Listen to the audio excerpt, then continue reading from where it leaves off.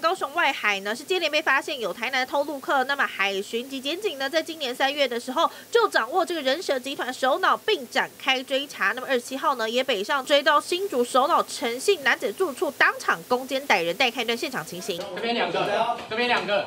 学长这边这边这个样，我熟了，我都没有动。你怕啊？你怕啊？